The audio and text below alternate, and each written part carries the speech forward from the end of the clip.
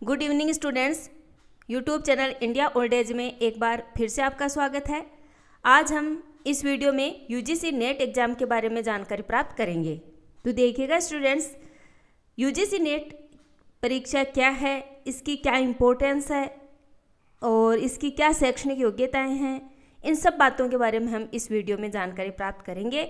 कई स्टूडेंट्स ऐसे हैं जो मेरे को पूछते रहते हैं कि मैडम यूजीसी नेट के बारे में थोड़ा बताइएगा। यूजीसी नेट की एग्ज़ाम कब लगेगी?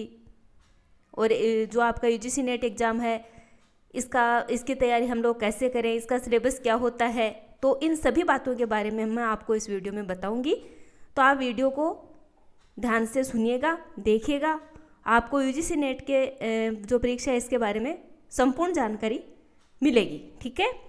तो देखिएगा, सबसे इम्पोर्टेंट जो बात है वो ये है कि भाई, जो दिसंबर 2020 में कोविड 19 की वजह से जो यूजीसी नेट एग्ज़ाम है, इसको स्थगित कर दिया गया था, जो अब मई 2021 में होगा, ठीक है?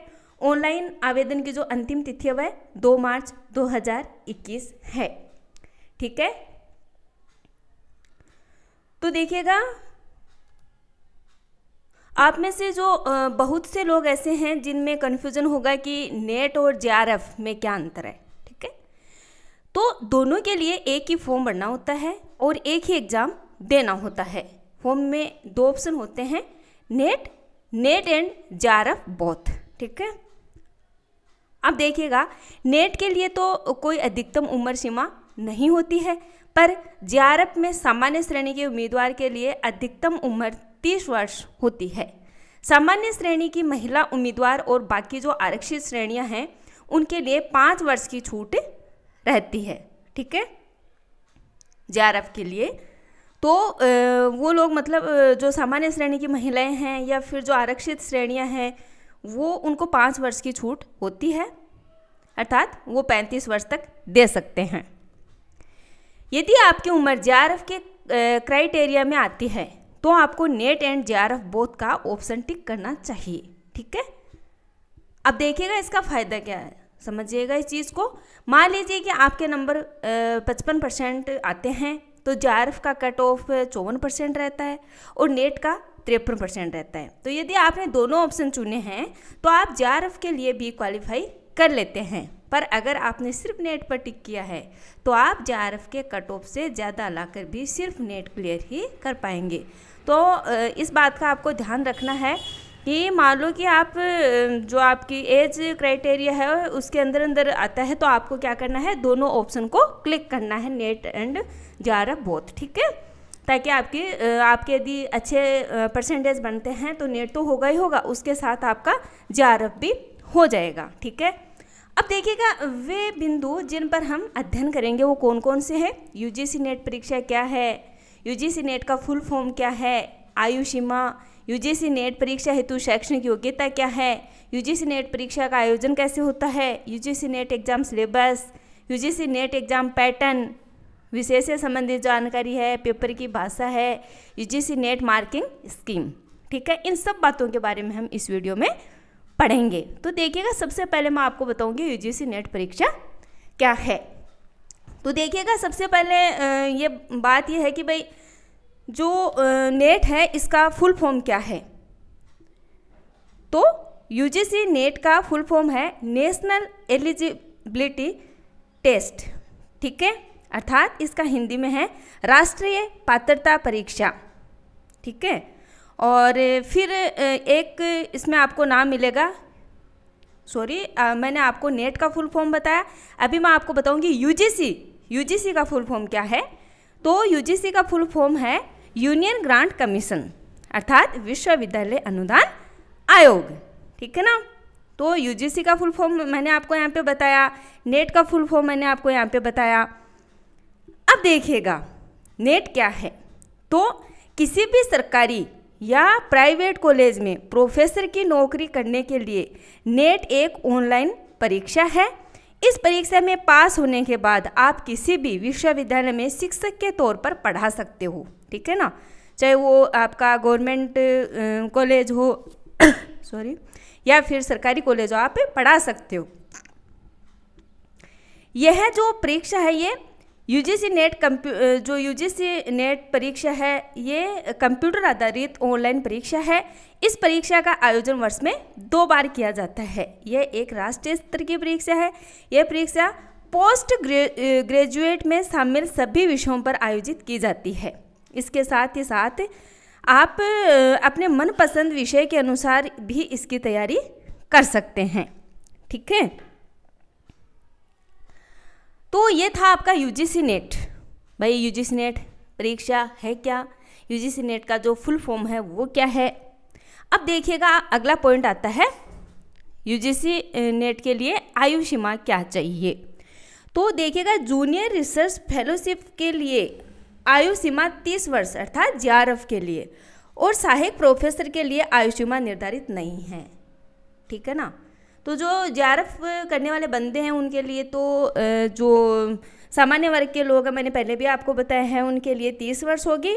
और जो मतलब प्रोफेसर के लिए, सहायक प्रोफेसर के लिए जो अप्लाई करेंगे, उनके लिए जो आयु सीमा वो कोई निर्धारित नहीं है। ठीक है? यह आपकी आयु सीमा हो गई। अब आता है यूजीसी नेट परीक्षा हेतु शैक्षणिक योग्यता। तो हमारा जो एम ए है, उसमें कम से कम पचपन परसेंट अंक होना ज़रूरी है। सरकारी नियमानुसार जो आरक्षित वर्ग हैं, उनके अभ्यर्थियों को पाँच प्रतिशत की छूट दी गई है। ठीक है ना? तो एम ए में कम से कम पचपन परसेंट अंक होने ही चाहिए और जो आरक्षित वर्ग हैं, उनको पाँच परसेंट की छूट दी गई है। ठीक है? अब देखिएगा, आता है यूजीसी नेट परीक्षा का आयोजन कैसे होता है? तो यूजीसी नेट परीक्षा का एक वर्ष में दो बार आयोजन किया जाता है, जिसकी अधिसूचना मार्च और सितंबर में की जाती है, ठीक है? और जो परीक्षा का आयोजन है, वह जून और दिसंबर में किया जाता है। ओके? समझ गए आप? यूजीसी नेट परीक्षा का आयोजन है, वह वर्ष में दो बार किया जाता है। और पहले इसकी जो विज्ञप्ति है, अर्थात जिसकी जो सूचना दी जाती है अभ्यर्थियों को, वह मार्च और सितंबर में ही दे दी जाती है। फॉर्म भरवाए जाते हैं और परीक्षा का आयोजन कब किया जाता है? जून और दिसंबर में किया जाता है। अब आता है आपका यूजीसी नेट एग्ज़ाम सिलेबस। वो क्या है? तो ये परीक्षा सभी भाषाओं के विषयों पर आयोजित की जाती है। इसमें पर्यावरण, कंप्यूटर विज्ञान आदि कई विषय ऐसे हैं जिनमें ये परीक्षा की जाती है, ठीक है? अब देखिएगा यूजीसी नेट एग्ज़ाम पैटर्न क्या होता है? अब देखिएगा, जो यूजीसी की ओर से एनटीए द्वारा, अर्थात नेशनल टेस्टिंग एजेंसी द्वारा ये एग्ज़ाम है की जाती है। इस परीक्षा का नोटिफिकेशन है, वह आधिकारिक जो वेबसाइट होगी, उस पर मार्च और सितंबर में जारी किया जाता है। इस परीक्षा में दो प्रश्न पत्र होते हैं, ठीक है ना?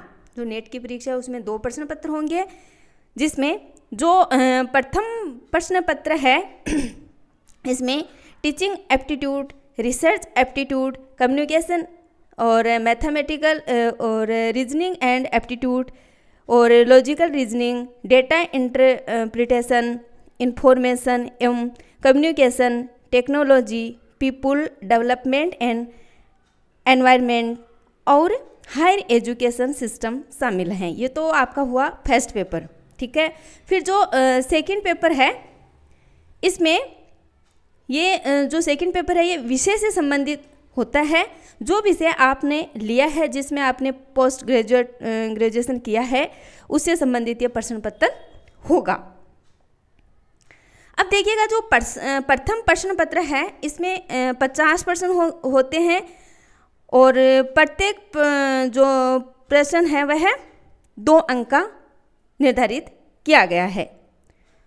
तो हम कह सकते हैं कि जो फ़र्स्ट पेपर है वह आपका सौ अंक का होगा। और दूसरा जो प्रश्न पत्र है उसमें सौ क्वेश्चन होंगे। और उसका जो प्रत्येक क्वेश्चन है, वो भी दो अंक का होगा। तो ये जो सेकंड पेपर है, ये दो सौ अंक का होगा। ठीक है? और मतलब टोटल तीन सौ मार्क की एग्ज़ाम होगी। और ये जो जितने भी क्वेश्चन होंगे, वो सारे के सारे वस्तुनिष्ठ सॉरी वस्तुनिष्ठ होंगे। और परीक्षा का जो समय वह तीन घंटे निर्धारित होता है। समझ गए ना? UGC NET exam syllabus UGC NET exam pattern ठीक है? अब देखिएगा विषय से संबंधित जानकारी। तो प्रथम पेपर में जनरल एप्टीट्यूड से संबंधित प्रश्न पूछे जाते हैं तथा दूसरे पेपर में परीक्षार्थी द्वारा ये मैंने आपको पहले बताया है। और पेपर की भाषा देखिएगा। तो नेट का जो पेपर होता है, वह दो भाषाओं कौन कौन सी दो भाषाएँ? हिंदी और अंग्रेज़ी में होता है। परीक्षार्थी को भाषा का विकल्प फॉर्म भरते समय चुनना होता है। ठीक है? तो जिस भी एग्ज़ाम जिस भी लैंग्वेज में आप मतलब फॉर्म के फॉर्म भरते समय आपको उसमें ऑप्शन पूछा जाता है कि भाई आपको हिंदी चाहिए, इंग्लिश चाहिए, जिसमें भी आपने फॉर्म भरा उसी में आपको फिर एग्ज़ाम देना होता है। अब आती है यूजीसी नेट मार्किंग स्कीम तो यूजीसी नेट में मार्किंग जो मार्किंग स्कीम है वो क्या है? ये क्या है कि टोटल 300 अंक का पेपर होता है। पहले और दूसरे पेपर के सही सवालों के लिए दो दो नंबर दिए जाते हैं। यदि कोई भी जवाब गलत है तो उसके लिए कोई भी नेगेटिव मार्किंग नहीं होती है। इसलिए आपको क्या करना है कि सारे के सारे क्वेश्चन करने हैं, क्योंकि कोई भी माइनस मार्किंग नहीं होती है। तो यह आपका हो गया यूजीसी नेट मार्किंग स्कीम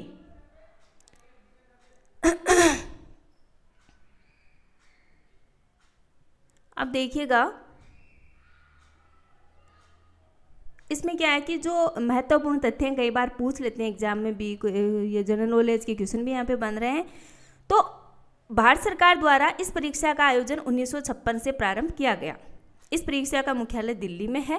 पहले इस परीक्षा का आयोजन सीबीएसई द्वारा किया जाता था, लेकिन दिसंबर 2018 के बाद से इस परीक्षा का आयोजन नेशनल टेस्टिंग एजेंसी, एनटीए, द्वारा किया जा रहा है। यूजीसी नेट एग्ज़ाम की फ़ीस, आप देखिएगा, ये भी महत्वपूर्ण चैप्टर है। यूजीसी नेट एग्ज़ाम की फ़ीस सामान्य श्रेणी के उम्मीदवारों के लिए एक हज़ार रुपये सामान्य श्रेणी के जो ई डब्ल्यू एस और ओबीसी नॉन क्रीमी लेयर के लिए पाँच सौ रुपये और बाकी उम्मीदवारों के लिए दो सौ पचास रुपये है। ठीक है?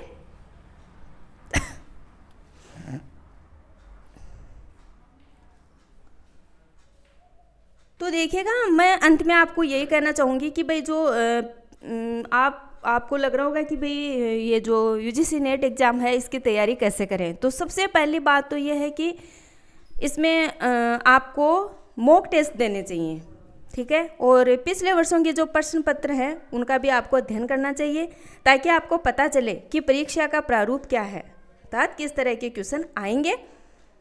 और ये आप जो भी विषय अपना आपने आपने चुना है, उसके आप नोट्स बनाएँ। अपने हाथों से जो नोट्स बनाएँगे तो फिर एग्ज़ाम के टाइम में आपको पढ़ने में आसानी आएगी। और हमारे, हमारा जो YouTube channel India old age है, इस पर हम आपको इतिहास विषय से संबंधित जो तैयारी है, वो करवाएँगे। और नेट का सिलेबस हम लोगों ने टारगेट किया हुआ है। नेट का सिलेबस हम पूरा करवाएँगे आपको। तो यदि आप लोगों को सही लगे तो आप हमारे YouTube channel India old age को सब्सक्राइब करें। आपको इतिहास विषय से संबंधित महत्वपूर्ण नोट्स यहाँ पे मिलेंगे, ठीक है?